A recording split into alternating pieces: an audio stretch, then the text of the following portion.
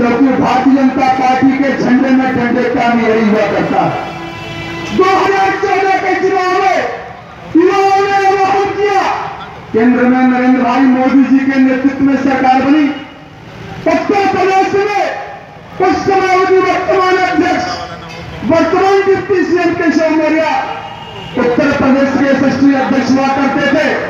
उनके नेतृत्व में आज़ादी के बाद पहली बार उत्तर प्रदेश में ऐतिहासिक सरकार बनाने का काम केशव मौर्य जी ने किया था। जय श्री राम मित्रों मैं तो से कहता हूँ कि केशव मौर्य जी असली धरती पुत्र यही है जो किसानों के मसीहा है। माटी की खुशबू को बरसात में महसूस करने का काम करते हैं। वो जमीनी कार्यकर्ता है ज़मीन से उठकर आज वहाँ पहुँचे हैं। और ऐतिहासिक जो सफलता उन्होंने उत्तर प्रदेश में दिलाई है हम उनको कार्यकर्ताओं की तरफ़ से उनको धन्यवाद देना चाहते हैं कि आप आगे बढ़िए। भारतीय जनता पार्टी का एक एक सिपाही आपके साथ कंधे से कंधा मिलाकर आपके साथ चल रहा है।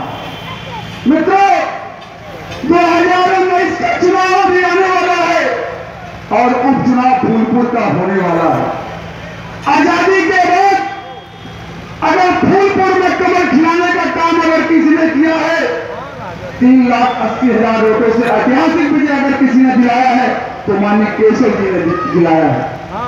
दोबारा हमें वहाँ चुनाव होने वाला है। उस ऐतिहासिक जीत को एक एक कार्यकर्ता बूथ स्तर पर लगाया जा चुका है।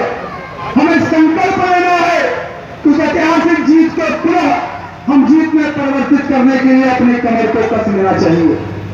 मित्रों माननीय मोदी जी ने कहा था न खाएँगे न खाने देंगे अगर केंद्र की सबसे बड़ी उपलब्धि पूछी जाए साढ़े तीन साल में तो मैं ये दावे के साथ कह सकता हूँ कि हमारे किसी सांसद के ऊपर चवन्नी का राग आज तक नहीं। उसी कड़ी पर उत्तर प्रदेश में एक योगी जी के नेतृत्व में, एक महापुरुष के नेतृत्व में, एक साधु संत के नेतृत्व में एक ऐतिहासिक सरकार उत्तर प्रदेश में चल रही है।